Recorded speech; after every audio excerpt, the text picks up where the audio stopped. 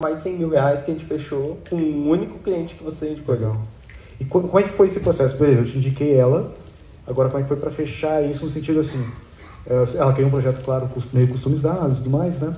Ah, mas como é que foi para chegar nesse valor? Porque o que, que acontece? Tem gente aqui, que tá aqui, que eu sei, quem é que acha que é difícil vender, por exemplo, um projeto acima de 10 mil reais? Levanta a mão, só para eu ver. Porque assim, você tem uma, teria uma dificuldade. Pode, pode levantar a mão, galera. 10 mil. tem que ser ali na- nas reuniões, mas que, assim, no começo, o que, que eu via, né, o que eu enxergava? Não cheguei vendendo projeto de 10, 15, 20, 30, 50, 100 mil reais. Foi uma escada, né? Eu vejo que é muito mais uma barreira da gente chegar, oferecer, ter confiança no nosso serviço, para ir a gente conquistando esses níveis de contrato. Então a gente começou ali, comecei vendendo IA a 2, 3, 4, 5 mil reais. Então foi um processo até chegar de fato nesses, nesses contratos de 100 mil, né? E foi começando desde o básico. Eu comecei até. é, foi ano passado ali no. Eu ia falar isso, né? Porque quando eu penso assim, ó, 10 anos pra chegar aqui, o cara tá falando assim, ó, foi um processo. Ano de seis passado, meses. o pessoal. ferramentas é, no code, que são ferramentas que vocês abrem hoje um website, constroem uma automação, e depois a gente foi progredindo para outras coisas. Então, de 2023 para cá, e eu digo que assim, 2023 foi meio que um aprendizado para mim, porque 2024 mesmo foi aonde a gente tá, tá dando um boom e tá, tá acelerando. Pode-se dizer que de seis meses para cá, seis, sete meses para cá, é onde a gente realmente pegou ali para dar um boom e é onde o negócio vem todo acontecendo. Olha que faz uns seis meses que tu entrou na formação, então. É. É faz esse tempo aí mesmo. Junto ali. Mas o educação, um dos nossos projetos aqui, que eu tenho outros parceiros, é mudar a educação no Brasil. Então eu sou muito em volta tudo que é educação. E quando veio um projeto, esse projeto que era um projeto de automação, IA, etc., eu, não, deixa eu te passar aqui um cara que eu confio, ele já fez vários trabalhos que eu indiquei, e os clientes sempre falam bem dele. E eu nem- sabia que ele ia fechar esse, esse, esse contrato desse valor. Ah, e o que, que foi esse processo assim de convencimento? Foi difícil ou por conta de, talvez da indicação que eu dei, tu acha que tem um peso maior? Não, acho que a, a indicação processo para um contrato de, de 100 mil é uma empresa conceituada, tá mais de 50 anos no mercado, então aquilo que o próprio Wagner falou, às vezes empresas grandes têm um processo maior. Eu achei que foi um processo curto, em questão de 30 dias a gente conseguiu já viabilizar e fechar esse contrato. E, e ainda que a gente vendeu uma solução que a gente não tinha dentro da empresa, a gente teve que construir, estar, Pular de paraquedas, pular de paraquedas e conseguir. Exatamente. E, e isso dificulta ainda mais a venda. Porque uma coisa é eu chegar nos meus agentes de atendimento, que é o que a gente mais faz aqui, e eu mostrar funcionando Tu ali. vende por quanto esses agentes? Esses agentes hoje eu vendo em média de 10 a 15 mil a implementação, fora uma recorrência que a gente Uhum. cobra. E a implementação quanto tempo leva, assim, hoje? Implementa- implementação, assim, um agente mais simples para a gente fazendo os testes são 14 dias, coisas mais complexas. Mas não que é inte- é inteiros 14 dias. 14 dias tu consegue fazer vários outros Não, é a, a margem ali para a equipe trabalhar, o cliente fazer teste, coletar feedback, Aham. até a gente de fato concluir. Dá- Mas assim, eu diria que em menos de uma semana você tem um agente pronto hoje. Já Sim. teve agente que eu montei um dia, eh, chegou um infoprodutor para mim, ele estava com a operação pipocando ali, chegando cliente atrás de cliente ali na operação dele, ele estava para contratar acho que quatro ou cinco pessoas para atuar ali dentro do, do comercial dele. A gente desenvolveu correndo, em três dias já estava no ar e a gente dobrou o número de vendas dele na, na- nessa parte inicial do funil. Top. Só de três dias ali que a gente pegou para montar o agente. Legal, muito bom. Deixa eu... Vendas, etc. Agora a gente vai falar com outro perfil, que é um cara, um macaco velho. Agora a gente tava no novinho, um macaco velho aqui. Aprendi três fluxos e aí eu falei, peraí que agora nós precisamos vendedor é bom? estruturar essa história. E assim, quando eu olho pra cá, gente, o que, que eu vejo? Eu vejo o Eldorado. Eu vejo só mentes brilhantes, um monte de gente capaz de criar um monte de coisas incríveis e levar lá pra fora solucionar um monte de problemas de pessoas que nem imaginam que vocês são capazes de criar. E assim, nós somos comerciais, né, Wagner? Eu entendo que nós somos essa ponte. Haverá sempre é, uma zona cinza entre o que é o comercial e o que é o desenvolvimento. Porque um trabalha com o límbico direito, Uhum. outro mais com o límbico esquerdo. Mas quando há essa junção, cara, toda essa primeira fileira aqui é a nossa equipe. Ó, desde lá, um, Sério? dois, três, Que quatro. cinco. massa! Levanta aí, gente, levanta aí, levanta aí, levanta aí, levanta, por favor. Levanta, por favor, levanta. Legal. Hoje essa é a nossa equipe. Eu falei para ela, amor, a partir de domingo nós vamos fechar as duas empresas e a gente vai viver de inteligência artificial. Olha aí. Ele olhou pra mim e falou, Ah, é eu- sério? Eu escutei um cara de óculos amarelo lá falando negócio. Aquela barba daquele cara me seduziu. Entendeu o que esse cara tá dizendo. Mas não, de verdade, assim, como empresário, como com visão de negócio, o que, que eu entendo? Que você, se você pegar uma empresa de cima para baixo e vier é, automatizando os processos, você vem reduzindo uma série de problemas que os empresários enfrentam e que estão ligados muitos aos perfis das pessoas. Quando você tem que chamar a atenção de uma pessoa, por exemplo, entra todo um fator emocional. É a partir de cobrança, a pessoa, ah, não quero ser cobrado, hoje eu já briguei com meu marido, não estou legal. E quando eu olhei a IA, eu falei, nossa, isso vai resolver um problema. Porque nós tivemos uma empresa familiar que chegou a ter 1.500 vendedores, a fazer a gestão desses vendedores. Então eu entendo que é fazer a gestão de um departamento comercial. Então a inteligência artificial é algo que vem e resolve esse problema. Qual é a empresa que substituiu 700 atendentes por uma IA, correto? Então, quando eu olhei isso, eu falei, nossa, aqui tem uma, uma capacidade, aqui existe a possibilidade de criar um negócio muito bacana, muito incrível. E aí eu peguei aquele menino lá, o Moroni, que manja muito de marketing. Peguei esse maluco doido aqui que cria soluções incríveis e o Ítalo. Onde é que nossa encontrou esse maluco aí? Dentro da comunidade. Legal. São todos da comunidade. Legal. Falei, gente, é o seguinte, eu tenho um plano muito ambicioso de conquistar o mundo, vocês precisam me ajudar. Só isso. Foi só isso que eu falei pra eles. Falei, pô, Marcos, vamos lá, vamos lá. Porque assim, cara, é, eu, eu penso que o vendedor, ele precisa se valorizar mais. Porque o vendedor, ele é a locomotiva da empresa, ele é o que põe o pão na comida de todos que estão dentro da empresa. É o departamento comercial.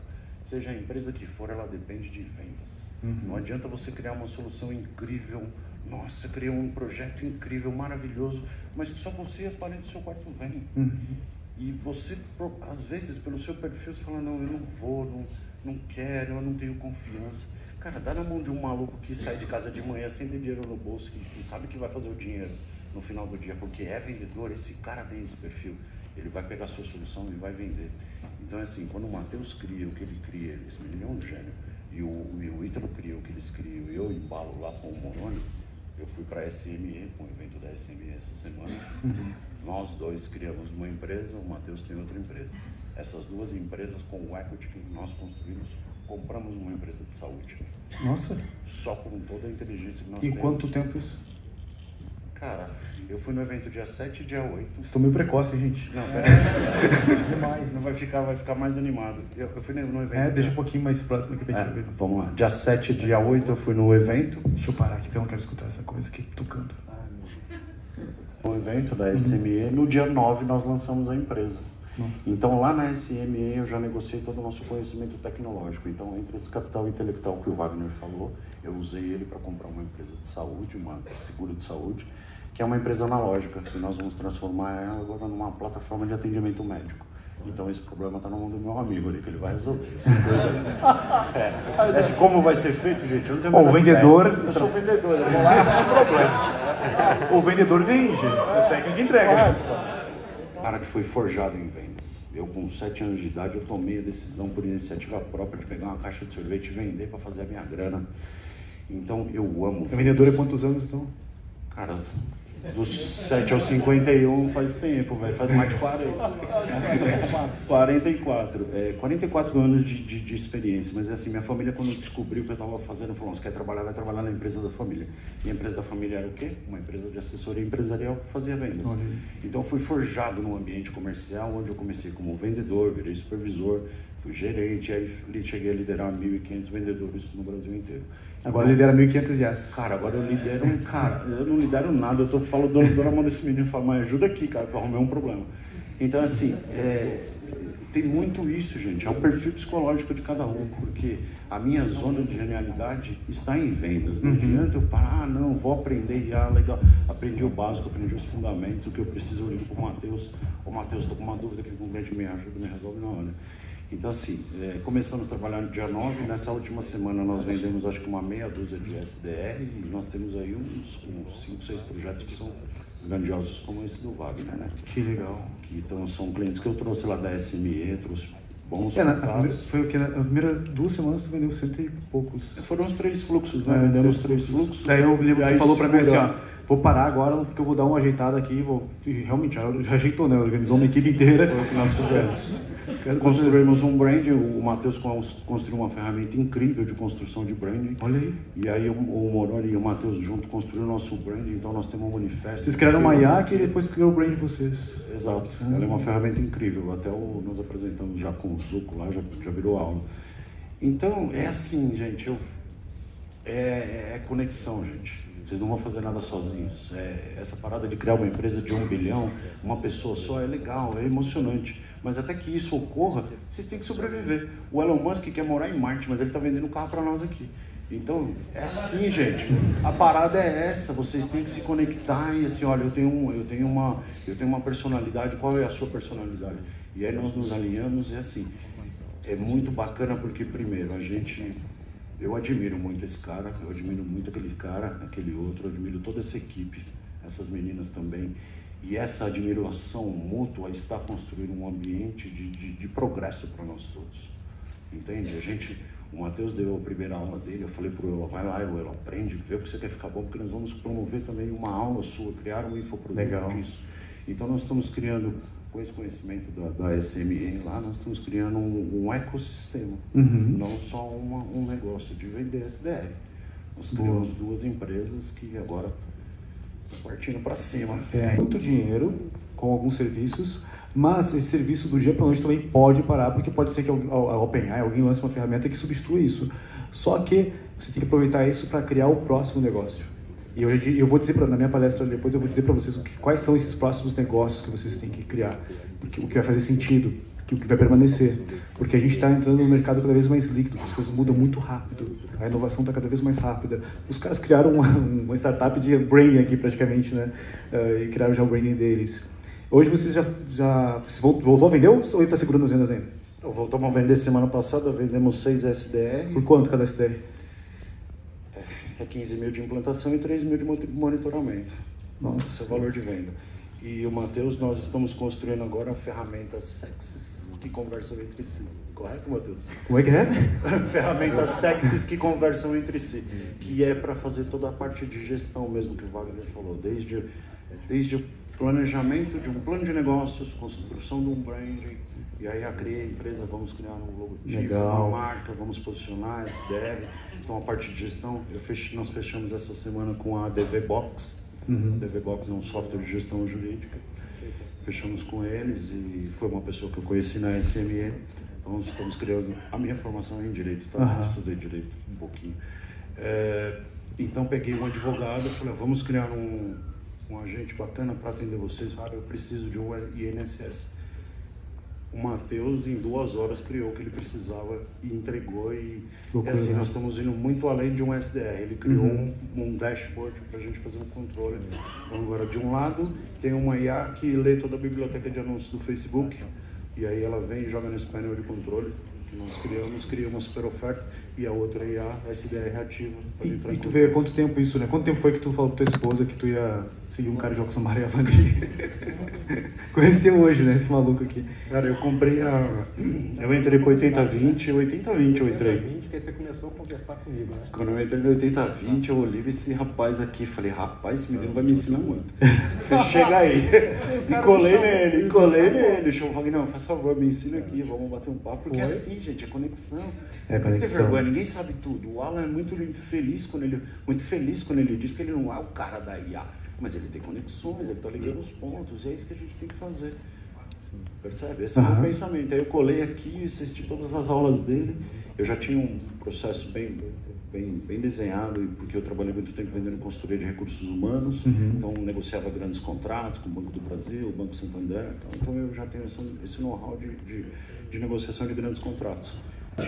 Tu viu que o negócio, nossa, é isso aqui. Se jogou. Aí tem que ter coragem. Parou duas empresas, vou fazer um negócio desse aqui. Outra, tu entendeu, tu entendeu que assim, sozinho, sinceramente, gente, ah, dá pra fazer, por exemplo, eu- o João Moura vai estar aqui e vai mostrar pra vocês o que ele tá fazendo ali é incrível com agentes. Mas o token humano ainda é mais barato que o token da máquina muitas vezes. E é mais rápido conseguir conectar a pessoa certa, pum, chega aqui e vamos fazer. É o que eu aconselho as pessoas, constantemente eu falo isso. Eu falo assim, tu não tem que saber tudo, ninguém aqui, não se preocupa, tem um milhão de coisas de IA, tu não precisa saber tudo, todos, tudo que acontece. Tu tem que entender o suficiente para conectar, ser a, a próxima peça-cabeça para resolver esse problema. O que o Fiusa fez aqui foi conectar várias, vários caras Pegou uma caixa de Lego e deu.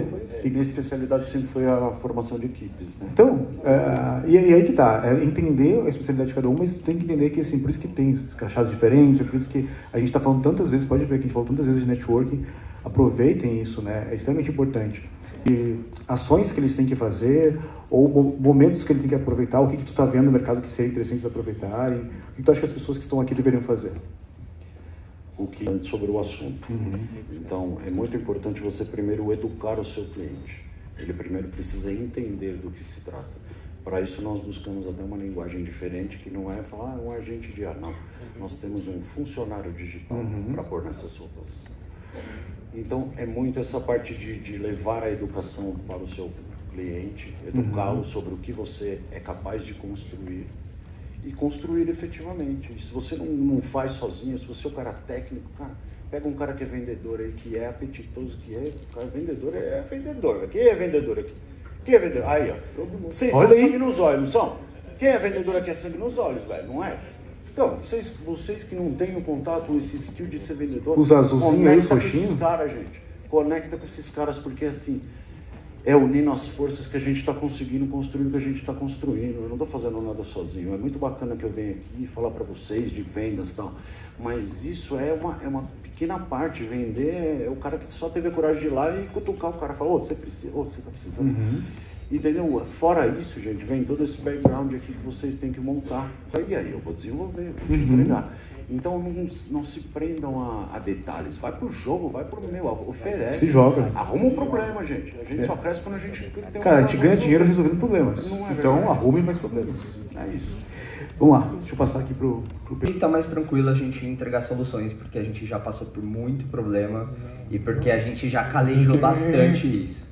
Só que lá atrás, quando eu fui oferecer minha primeira solução, eu tive uma barreira muito grande do, de pegar o meu conhecimento para vender o primeiro contrato. E uma barreira muito pequena para vender o segundo contrato do primeiro. Então, o que eu digo para vocês é: não tenham tanto receio de colocar o conhecimento de vocês na prática, de vender, de sair vendendo o primeiro contrato. Vocês têm muitas pessoas aqui que têm muito conhecimento para colocar isso em prática, para realmente desenvolver as soluções. Então, não deixem essa, essa barreira de, dessa incerteza dominar vocês. A gente está tá no mundo de muitas oportunidades, o momento da gente se posicionar dentro desse mercado é agora, porque são muitas empresas querendo, como Wagner mostrou aqui, como Google mostrou aqui na palestra dele, a gente está no momento único de mercado. Então a gente se posiciona agora e já começar realmente a aplicar essas soluções, seja no nosso negócio, seja no negócio de outras pessoas, é, é o momento ideal. Então, não tenham tanto receio, porque vai vir problema. E eu acho que isso tá, tem que estar tá bem claro. Isso é o que eu alinho com os clientes também. Então, quem entra na minha empresa, eu falo que vai ter problema, que a gente provavelmente vai ter problema com IA, porque ninguém aqui tem 100% de controle sobre inteligência artificial. Então, acho que a gente ter isso na nossa consciência e não deixar isso barrar a gente, eu acredito que é um bom ponto de partida aí para quem está que querendo entrar nesse mercado.